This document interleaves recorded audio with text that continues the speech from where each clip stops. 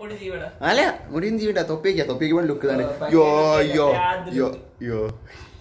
യാ boy. Hi guys നമ്മുടെ അപ്പം ഈ വർഷം നമ്മളെ ഈ രണ്ടായിരത്തി ഇരുപത്തിരണ്ടിലെ നമ്മുടെ ഒരു ആദ്യത്തെ ലോങ് വീഡിയോ ആണ്. നമ്മളിതിന്റെ ഷോർട്സ് ഒക്കെ ഇട്ടായിരുന്നു. ആദ്യത്തെ ലോങ് വീഡിയോ ആണ് നമ്മളെ വീഡിയോ അപ്പം എല്ലാവർക്കും ഈ ബിലേറ്റഡ് പുതുവർഷ ആശംസകൾ പിന്നെ എല്ലാവർക്കും ഈ പുതിയ വീഡിയോയിലേക്ക് സ്വാഗതം.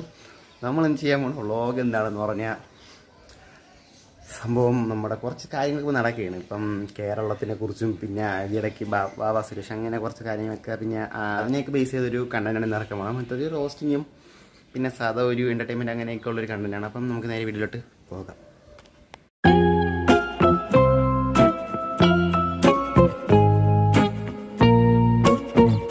ആദ്യത്തെ കാര്യം ഈ ഈ രണ്ട് ദിവസമാവും നമ്മളെ ബാബാ സുരേഷ് ബാബാ സുരേഷ് സ്നേക്ക് മാസ്റ്റർ എന്നൊക്കെ പറയാം. സ്നേക്ക് മാസ്റ്ററിനെ ഒരു പാമ്പ് കടിച്ച് അപ്പം ഗുരുതരമൊക്കെ ആയിട്ട് ഹോസ്പിറ്റലിൽ അഡ്മിറ്റ് അപ്പോൾ എല്ലാവരും പ്രാർത്ഥി എല്ലാവരും എല്ലാവരും ഈ കേരളത്തിലുള്ള എല്ലാവരും ചെയ്യുന്ന പറഞ്ഞാൽ ചിലവർ പൂജ നടത്തി അർച്ചന നടത്തി വഴിപാടുകൾ നടത്തി ബാബാ സുരേഷ് ഏട്ടനൊന്നും പറ്റില്ല എന്ന് പറഞ്ഞാൽ ഇത് എല്ലാം നടത്തി. പക്ഷേ അങ്ങനെ നടത്താത്തൊരു മനസ്സിലെങ്കിലും വിചാരിച്ചാണ് ഇങ്ങനെ ഒന്നും പറ്റല്ലേ ബാബാ സുരേഷ് ഏട്ടനൊന്നും പറ്റല്ലേ എന്നൊക്കെ മനസ്സിലെങ്കിലും വിചാരിച്ചു പക്ഷേ ഈ സമയത്ത് നമ്മുടെ ട്വന്റി ഫോർ ന്യൂസ് ആ വിനോദ് കണ്ടോക്ക് കാണണ്ട. ഏ?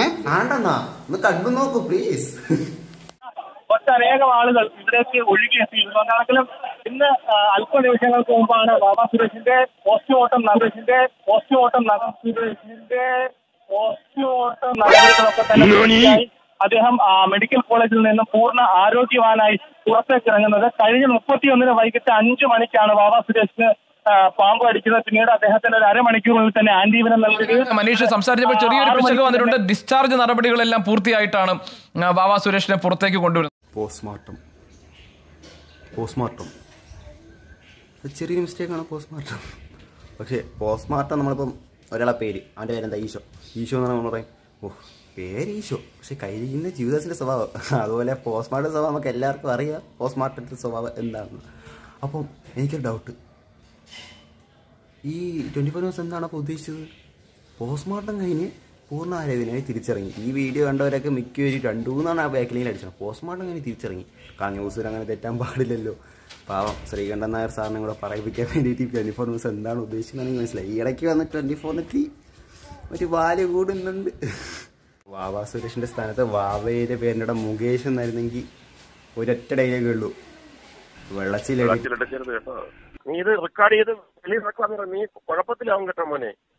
സൈബർ സെല്ല് ഏറ്റെടുത്തിരിക്കുകയാണ്. പുരാണ കാലങ്ങളിലൊക്കെ കേരളം പുരാണ കാലങ്ങളിലൊക്കെ നമ്മളിപ്പം കേരളം എന്നൊക്കെ പറയാൻ എല്ലാവരും പറയണത് പരശുരാമ മഴ എറിഞ്ഞ് ഉണ്ടായ നാടാണ് കേരളം എന്നൊക്കെ പറഞ്ഞത് അത് പിന്നെ ഇങ്ങോട്ട് കുറച്ച് കാലങ്ങളൊക്കെ കഴിഞ്ഞു വന്നപ്പം ഇത് ദൈവത്തിന്റെ സ്വന്തം നാടെന്നും പിന്നെ അങ്ങനെയൊക്കെ അറിയാൻ തുടങ്ങി. പിന്നെ കുറച്ച് നാളൊക്കെ കുറേ മുമ്പൊക്കെ പറയണ കേരളം എന്നൊക്കെ നമ്മൾക്ക് ഒരാൾ പുറത്തുനിന്ന് പറയുമ്പോൾ വെറി ഫ്രം അല്ലെങ്കിൽ നിങ്ങൾക്ക് നാടെങ്കിൽ കേരളം കേരള എന്താ തേങ്ങ തേങ്ങ കിടക്കുന്ന നാട് എന്നൊക്കെ പറഞ്ഞ് കൽപ്പവൃക്ഷത്തിന്റെ നാടൊക്കെ ഇങ്ങനെ കുറേ നാൾക്ക് മുമ്പ് പറഞ്ഞു. പിന്നെ രണ്ടായിരം വർഷങ്ങളൊക്കെ കഴിഞ്ഞപ്പം രണ്ടായിരം രണ്ടായിരത്തി പത്തൊക്കെ ആയപ്പോൾ ചോദിക്കണം കേരളം പറയുമ്പോൾ മമ്മൂക്ക ലാലായിട്ട് എന്റെ സ്ഥലമല്ലേ കേരളം? എന്നൊക്കെയാണ് ആൾക്കാർ ചോദിക്കുന്നത് ഇപ്പം എന്നാൽ ഇപ്പം ഒരു വർഷത്തിനകത്ത് ഇപ്പം ആൾക്കാർ നമ്മളിപ്പം സാധാരണ ഇപ്പോൾ എല്ലാം ഓൺലൈനായില്ല നമുക്ക് പുറത്തൊന്നും അങ്ങനെ ഇറങ്ങണില്ല. അപ്പം നമ്മളിപ്പോൾ വല്ല ഫ്രീ ഫയറാ ബി ജി എം ആയ അങ്ങനെ എന്തെങ്കിലും ഗെയിം കളിക്കണമെങ്കിൽ ബംഗാളികൾ ബംഗാളി അല്ലെങ്കിൽ പുറത്തുള്ള ഈ കന്നഡക്കാർ അവരൊക്കെ റാൻഡമായിട്ട് വരും. അപ്പോൾ നമ്മളിപ്പോൾ സംസാരിക്കും ചോദിക്കാം ഹലോ ബായ് യു ഫ്രം നിങ്ങൾ നമ്മൾ കേരളം കേരള. ആ എങ്ങനെ ഇരിക്കുന്നു? കേരള. എന്നൊക്കെ ചോദിച്ചിട്ട് അവസാനം അടുത്ത അടുത്ത ഡയലോഗ് കേരള എന്ന് ചോദിച്ചാൽ അടുത്ത ഡയലോഗ് ഡബറയോളി അണ്ണനെ അറിയുമോ? ഡബറയോളി അണ്ണൻ കേരളം അത്രയ്ക്കും അതപ്പതനിച്ചു പോയി. ഞാൻ പറഞ്ഞ വാക്ക് കറക്റ്റ് ആണെന്ന് വിചാരിക്കണേ. അങ്ങനെ കേരളം താത്താട്ട് പോയി അതപ്പതനിച്ചു പോയി. എന്ത് ഒരു രക്ഷയില്ല കേട്ടോ. ഈ ഇവിടുന്ന് വിട്ട് എവിടെയെങ്കിലും ആഫ്രിക്ക പോയാൽ എന്തെന്ന് ആലോചിക്കും. മനസ്സിലായില്ലേ? അപ്പോൾ ഇതൊക്കെയാണ് നമ്മൾ ഇന്നത്തെ ഒരു കണ്ടന്റ്. ഇത് കോമഡി കണ്ടന്റാണ് വേറെ ഒന്നും എനിക്ക് പ്രത്യേകിച്ച് ഇപ്പോൾ കണ്ടന്റും കിട്ടില്ല. പിന്നെ സ്കൂളിൽ പരീക്ഷയും കാര്യങ്ങളൊക്കെ നടക്കണം അത് പരീക്ഷ എന്ന് പറഞ്ഞാൽ ഇപ്പോൾ പ്ലസ് വൺ ആയി. പരീക്ഷ നടക്കണില്ല. നടക്കും.